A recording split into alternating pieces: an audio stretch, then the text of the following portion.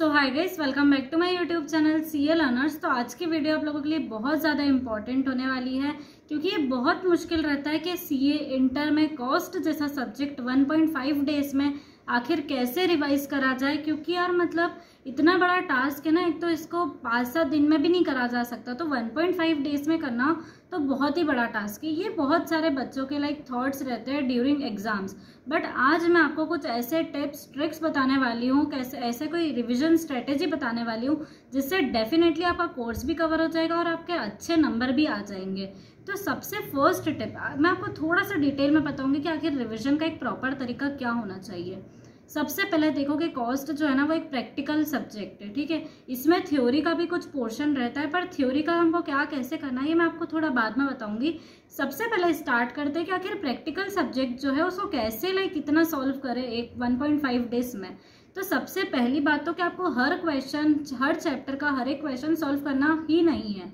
मैं आज आपको बता रही हूँ कि आपको लाइक आपने पहले कोई अगर कभी रिवीजन करा होगा तो कुछ बच्चों ने अपने जो क्वेश्चन है, जो उनको टफ लग रहे हैं, वो उन्होंने मार्क कर लिए होंगे। तो वो जो मार्क करे हुए क्वेश्चन है ना, वो आपको सॉल्व करने हैं, ठीक है? रिटर्न प्रैक्टिस करना है उनकी। लेकिन जो बचे हुए क्वेश्चन है, उनको ऐसा नहीं करना है कि ठीक है, आए होंगे और आए होंगे तो हमको पेज पलटा देना है। ऐसा बिल्कुल भी नहीं करना है। उनको आपको कैलकुलेटर पर सॉल्व करना है, उनको आपको एक निगाह उन पर मारनी है। और जो इम्पोर्टेंट क्वेश्चन है, उनको आपको क्या करना है रिटर्न प्रैक्टिस करके सॉल्व करना है। लेकिन अगर आप उन बच्चों में से हो कि यार हमने तो पहले ऐसा कोई मार्क वाक नहीं करा है, हमको कोई बताने वाला नहीं था तो अब हम क्या करें? तो अगर आपके कोई फ्रेंड्स वगैरह जिन्होंने क्वेश्चन मार्क करे, अगर आप उनसे लेने की सोच रहे हैं तो आप बिल्कुल गलत ट्रैक पे जा रहे हैं और आप बिल्कुल सही जगह आ गए हो, क्योंकि मैं आपको बोल रही हूँ कि ऐसा बिल्कुल भी मत करना, क्योंकि हर पर्सन के हिसाब से डिफ़िकल्ट क्वेश्चन जो रहते हैं ना, वो अलग अलग होते हैं। हो सकता है कि उसका डिफ़िकल्ट मार्क करा हुआ क्वेश्चन आपके लिए बहुत ईजी हो, लेकिन आपके लिए जो डिफ़िकल्ट क्वेश्चन है, वो उसके लिए ईजी हो। तो ज़रूरी नहीं है तो दूसरे से क्वेश्चन लेकर उन पर डिपेंडेंट मत रहना कि और उसका मार्क करे हुए क्वेश्चन ही करके चल जाते हैं और बाकी सब ठीक है एग्ज़ाम में देखा जाएगा। इसमें आपको क्या करना है कि हर दो तीन क्वेश्चन में आपको लाइक देख कर समझ आ जाता है। इतनी आपकी प्रैक्टिस हो गई होगी कि आपको एटलीस्ट देखकर वो क्वेश्चन समझ आ जाएगा क्या इस क्वेश्चन का लेवल कैसा है। मतलब ये करने जैसा है रिटर्न प्रैक्टिस या नहीं। तो कोई भी लाइक क्वेश्चन अगर आप बड़ा बेसिस पे भी आप कर सकते हो कि अधिकतर लाइक नाइन्टी परसेंट केसेस में ऐसा ही होता है कि क्वेश्चन अगर बड़ा होगा या फिर वो चैप्टर में थोड़ा लास्ट में होगा। तो वो क्वेश्चन जो होगा, वो एक होलसम क्वेश्चन होगा। तो आपको हर चैप्टर में से एक होलसम क्वेश्चन फाइंड करना है। मतलब जिस क्वेश्चन में ऑलमोस्ट सारे जो कॉन्सेप्ट है उस चैप्टर के वो कवर हो गए हो। वो क्वेश्चन की आपको रिटर्न प्रैक्टिस करनी है और बाकी जितने भी क्वेश्चन हैं। उनको आपको ओवरव्यू करना है और एक बार देखना है।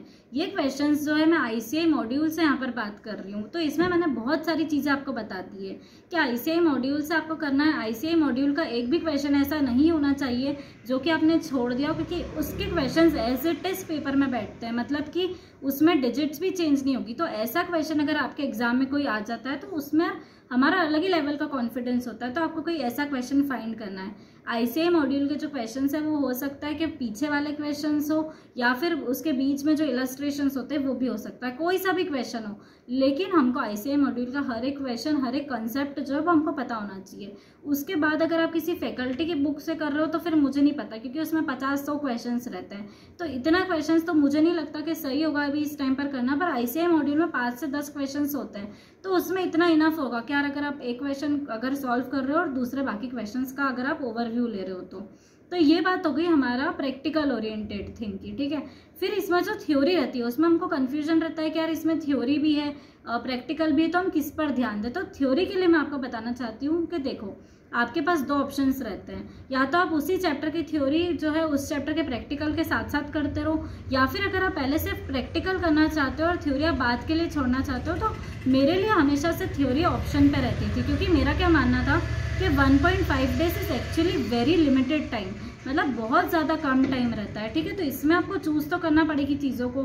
मतलब आप सब कुछ कवर नहीं कर सकते हो। कोई ना कोई चीज़ आपको सेक्रीफाइस करनी होगी, तभी कोई ना कोई चीज़ आप अच्छे से लाइक यहाँ पर कर पाओगे। तो मेरे मेरे लिए हमेशा जो सेक्रीफाइस वाला पॉइंट रहता था ना, वो थ्योरी रहता था और मेरे लिए हमेशा वो काम भी करता था।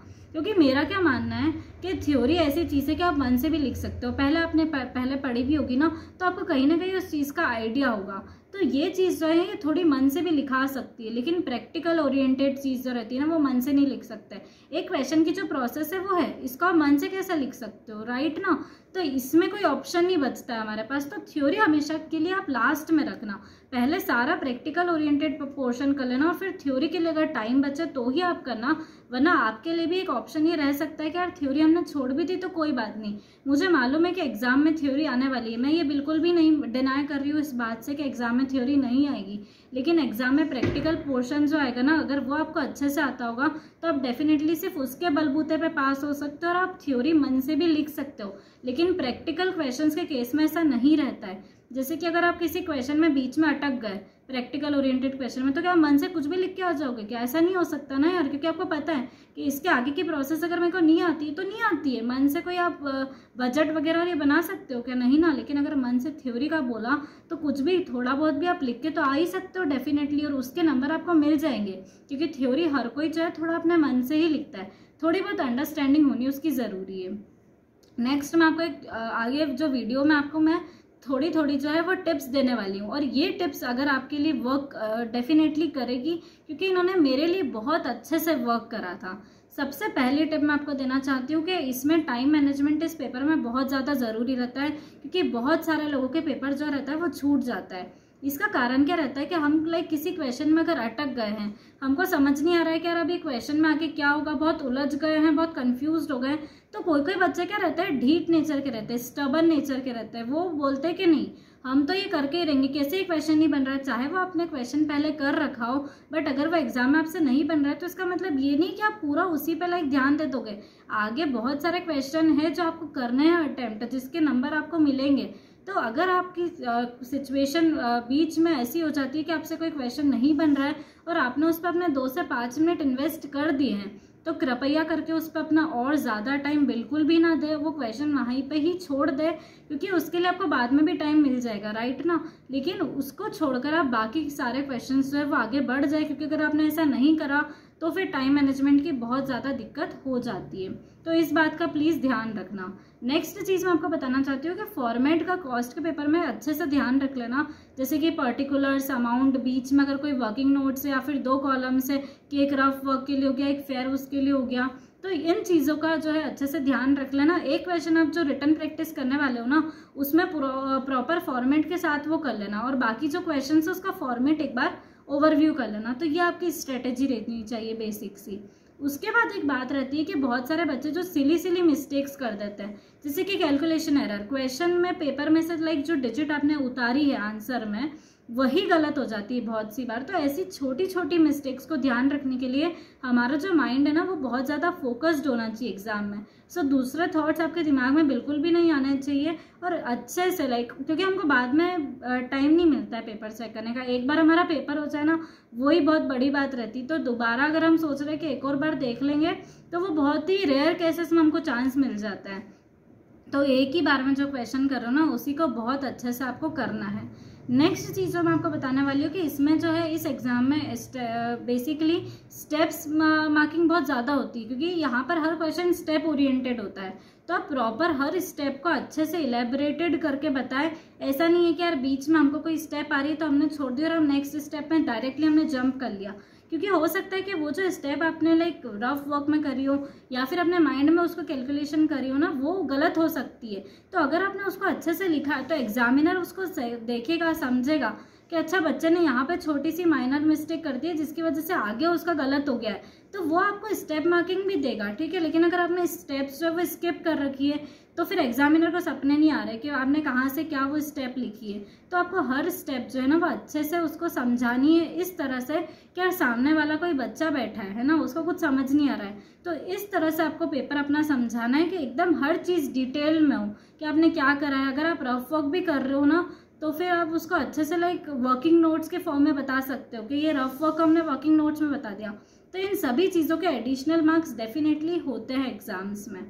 नेक्स्ट मैं एक छोटी सी आपको चीज़ बताना चाहती हूँ कि बहुत सारे लोग जो है ना कैलकुलेटर की वजह से एग्ज़ाम में बहुत ज़्यादा स्ट्रेस में आ जाते हैं क्योंकि बहुत बार क्या रहता है कि कैलकुलेटर खराब हो जाता है बीच एग्ज़ाम में और बिना कैलकुलेटर के एग्ज़ाम में कुछ भी नहीं हो सकता कॉस्ट के एग्ज़ाम में स्पेशली तो इसीलिए आप अगर हो सके तो दो कैलकुलेटर ले जाए तो एक सेफ़ साइड के लिए वो अच्छा रहता है.